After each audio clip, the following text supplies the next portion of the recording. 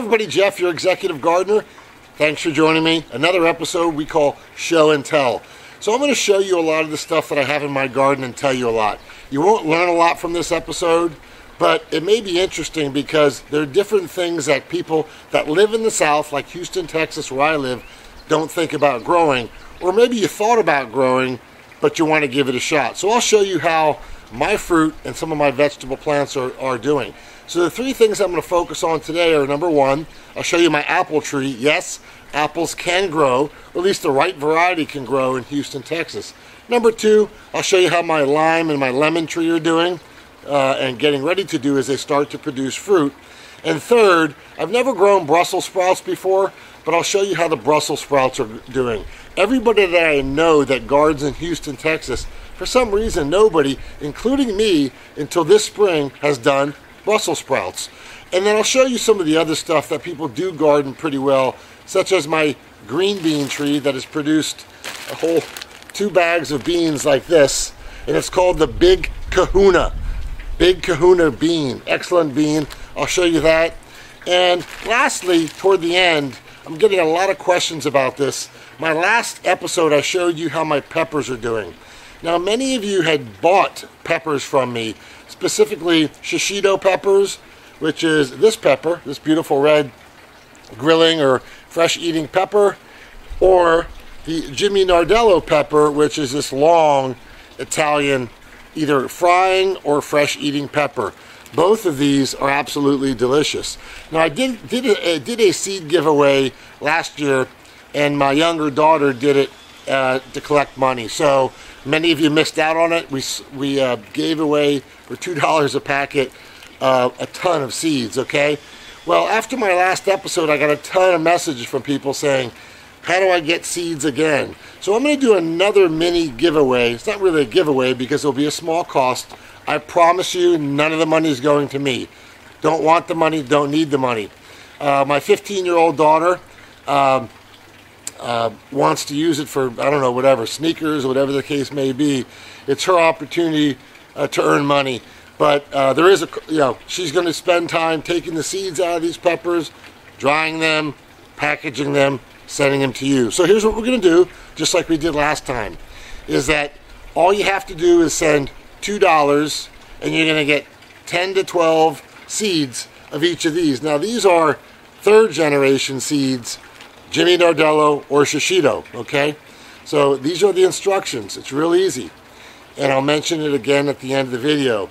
If you want 10 to 12 seeds of this one, uh, the Shishito, and this one, the Jimmy Nardello, um, just include $2 cash in an envelope, send it to the P.O. box that you're going to see in the description box here or at the end of the video.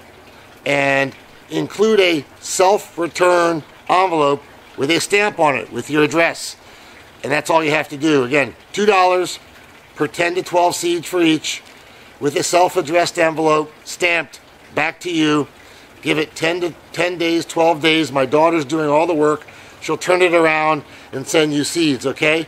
Um, I would say um, if, you know, give it, if you're watching this video after May, let's say May 20th or 22nd, you're too late we probably already sold out. So if you want to do it, act now, send it to the P.O. Box, okay? Again, I'm not looking for any money, don't need it.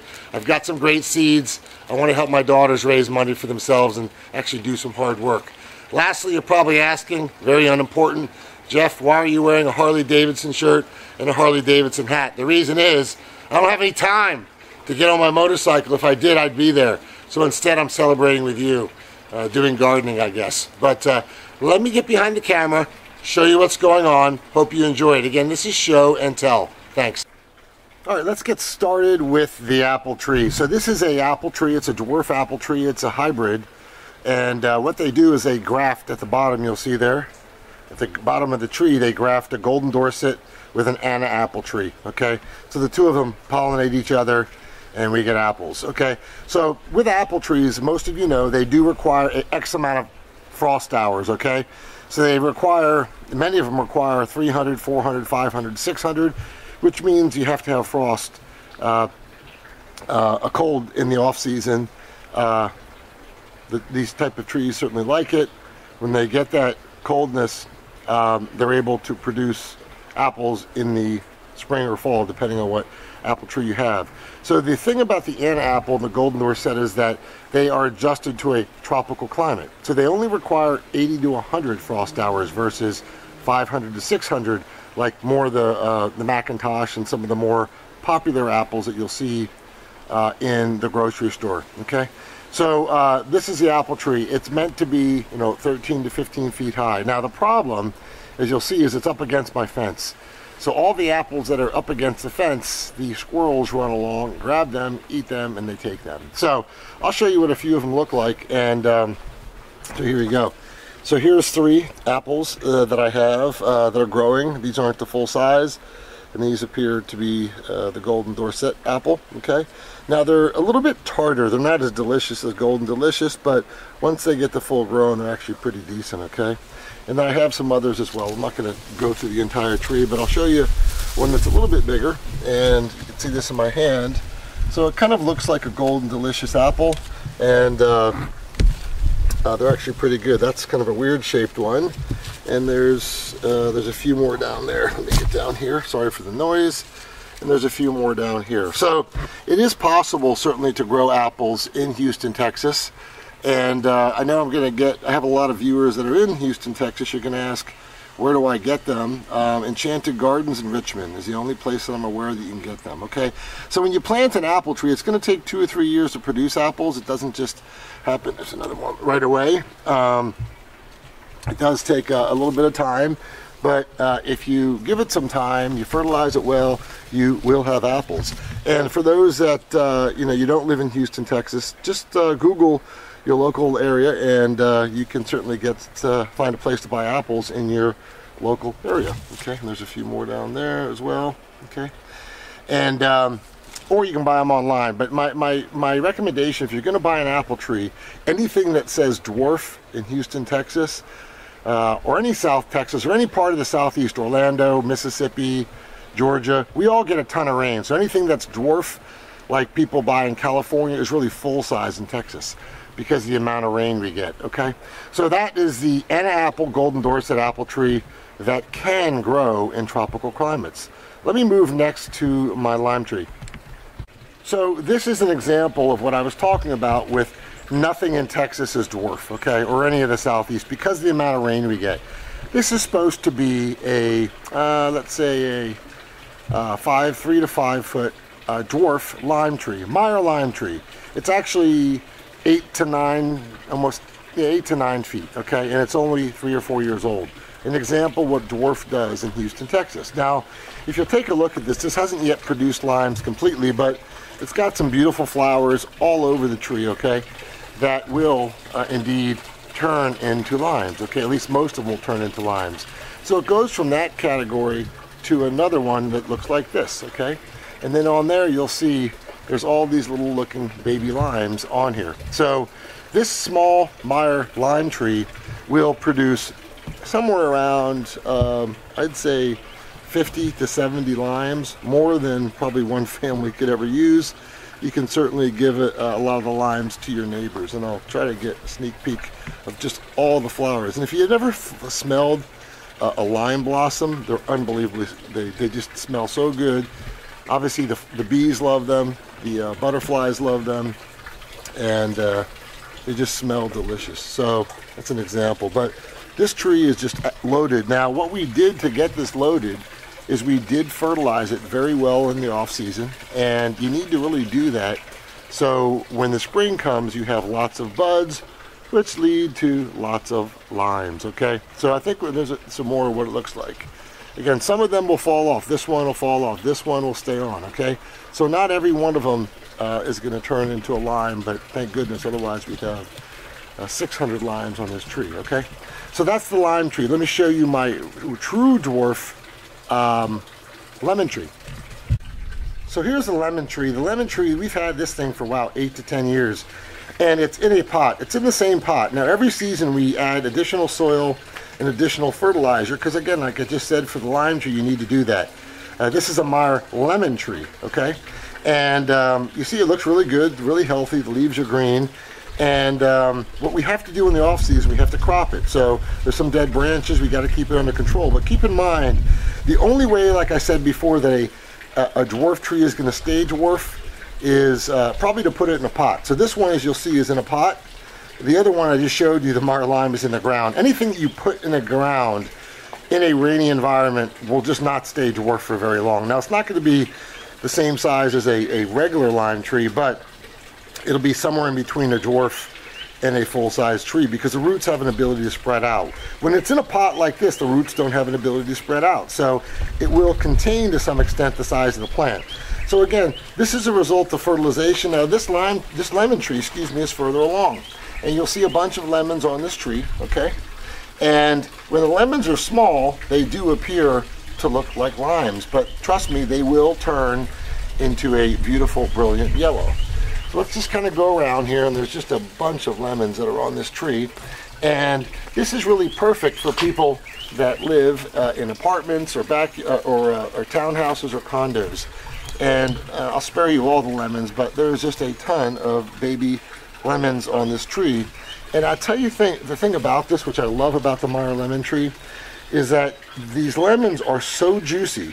One lemon has, compared to a store-bought lemon, has probably got two to three times more juice in it than a regular one. So they're delicious. So Meyer lemon trees are, re are relatively easy to buy in the South. They're very much available. Houston Garden Centers has them in Houston.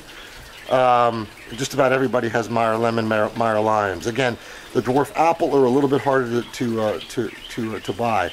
Now, the one thing I would warn you about this tree unlike the one that's in the ground, is that they will die with frost, okay? So you do need to cover it up. You need to give it some type of a heat source for a Meyer lemon, Meyer lime. So for whatever reason, uh, we didn't have it cold enough this year. I did cover my limes and lemon trees. They were fine. Apples won't die from the frost. They'll do fine. They like the frost hours, okay? So let me show you one more, which is my uh, Brussels sprouts, and then actually two more, and then um, we'll close it. So sorry for the extra noise. I keep this next to my air conditioned vents as you can see, but I'll try to talk loud. So these are these long things are the Brussels sprout trees, okay? They're Brussels sprout plants, excuse me. Um, look at these things, they're just long.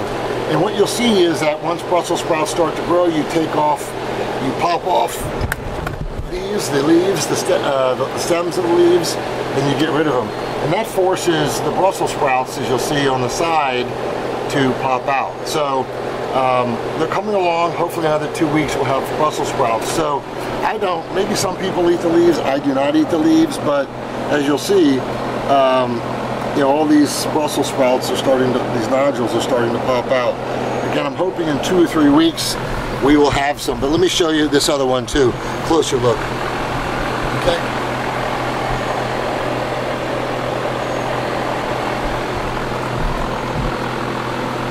Pretty cool. So it's the first year that I've grown these and um, you know I'll do better next year but I love Brussels sprouts and uh, if you live in the south you can do it. It's getting a little bit late in the season so um, but I still see the farmers market selling Brussels sprouts so uh, hopefully I'll have the same uh, success. I probably would start them a little bit earlier last year, and I was probably a little bit late to picking off these leaves, okay? Should I probably should have started them sooner because the growth, of course, goes to the Brussels sprout and not to the leaves. So live and learn. We all learn from gardening. My last one is the bean tree. Let me show you the green bean tree. Now, I have no idea why I keep saying tree. Green bean vine, okay? I guess I need more coffee this morning. Me try to get out of the sun. But this is the big, big kahuna uh, green bean. Uh, and I only, I think, planted three of these, two or three of these, but they're just loaded. So um, these are decent size uh, green beans, as you'll see, um, by, by these. But uh, I showed you the bag that we already picked already. And then uh, I'll show you uh, a few more of these, what they look like. And then pretty much I think this will be the end of the green beans. So this is what they look like a good sized green bean. Uh, big kahuna they call it. If you haven't tried it, give it a try. I think the green beans are they're pretty sweet. Um, uh, great to eat. Put a little uh, butter, salt, pepper on them, grill them up, steam them, whatever you do, and you're good to go. But Uh, three plants right here has produced more green beans than my family of four uh, can probably eat in four to six weeks. So that's all you need. Um, and uh, that's the green beans. So I'll just kind of take you in here. They are just loaded. And uh, yeah, they're really good size too. So um, they're very productive and uh, you know, sometimes I've got some other beans and they just don't, uh, they don't uh, seem to be as good as these. So I'm really happy with these. So, um, lastly, let me just kind of talk about uh, real quick. I'll skip over to my uh, cucumbers, and as I talk about the Jimmy Nardello plants, I'll kind of give you an example of, or uh, talk to you about what needs to happen to that. So again, if you want the Jimmy Nardello pepper or the shishito pepper, it's just $2 cash in an envelope to the P.O. box you see in the description box here, okay? and with a self-addressed envelope it'll come back to you I don't get any money from it my daughter will take it use it for fundraising for herself uh, we'll get it out to you okay um, I showed you the shishito is the long red one. Excuse me the shishito is the shorter one. The red the longer red one is the Jimmy Nardello pepper. Both are sweet neither are hot. If you want 10 or 12 seeds of each send two dollars in for each. It's pretty simple. That is it. I'm glad I could help uh, show and tell with you, or share show and tell with you. And if you have any interest in the seeds, just send it in. We'll get them out to you. Again, if you are listening to this or watching this video after May 22nd, 2018, do not send cash. Do not send your order. We'll probably be all sold out. If we are sold out and we get your money, we'll send it back to you. Okay? So you may want to rush as soon as possible. So this is Jeff, your executive gardener. Until next time, thank you. Make it a great one.